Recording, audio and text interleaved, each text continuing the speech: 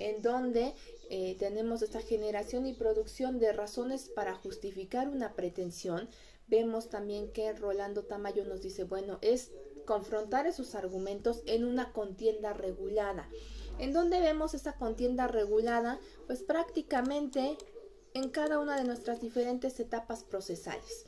En ese momento nos encontramos en diversas fases.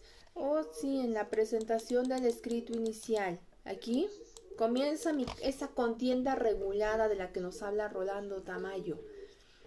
Esa contienda regulada de, bueno, voy a establecer las pretensiones que vemos que también nos las refiere Jaime Cárdenas.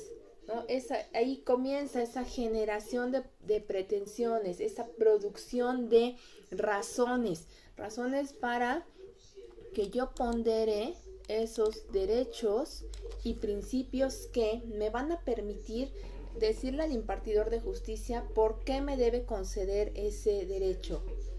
Después tenemos otra parte, otra fase de la contienda regulada, el emplazamiento. Bueno, si bien ahí tenemos la cédula de notificación, tenemos, eh, eh, definimos el emplazamiento como este primer acto procesal en donde le hacemos saber al demandado que existe una contienda instaurada en su contra. Tenemos otro momento de esa contienda regulada, la contestación. En esa contestación vemos que el demandado también va a generar y a producir razones para justificar por qué no me deben conceder esa pretensión. Y entonces tenemos esa oposición de excepciones y defensas. ¿no? Vemos esa resistencia dentro de esa contienda regulada. Y entonces notemos cómo interactúan estas dos definiciones o estos dos criterios que estamos estudiando cuando hablamos de, eh, cuando confrontamos lo que señala Jaime Cárdenas y lo que señala eh, Rolando Tamayo. Jaime Cárdenas nos decía, bueno, es esa generación y producción de razones para justificar las pretensiones y eh, en, en su momento las conclusiones. Rolando Tamayo nos va a decir, bueno, consiste en confrontar argumentos en una contienda regulada, en una contienda sometida a reglas, reglas procesales y tenemos las pretensiones, esa eh, generación de, de, pretensiones y también esa generación de excepciones, ¿no? ¿Por qué sí y por qué no? En dónde te asiste ese derecho subjetivo, en dónde te faculta ese derecho subjetivo para producir esas eh, pretensiones.